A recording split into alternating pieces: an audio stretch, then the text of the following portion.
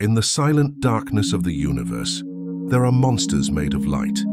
Stars' colossal furnaces of creation are meant to give life. But some of them hunger. When two stars drift too close, gravity becomes their weapon. The larger one begins to pull, to feed, to consume. It tears matter from its smaller companion, ripping it apart piece by piece until only a faint core remains. Astronomers call them stellar cannibals, systems where one star devours another in a slow cosmic feast. Sometimes the victim survives for a while, orbiting in agony, its gas stripped away into glowing streams that spiral toward its predator. Other times, both stars collapse together, creating something even more terrifying, a supernova, or a black hole born from their death embrace. From far away, these events look beautiful, a swirl of light, a dance of destruction. But behind that beauty lies violence beyond imagination, energy enough to erase entire worlds in a blink.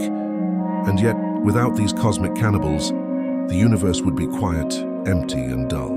Because from their chaos come new stars, new elements, and maybe someday new life. In the end, even the stars remind us, creation and destruction are never far apart. They feed each other. They are each other.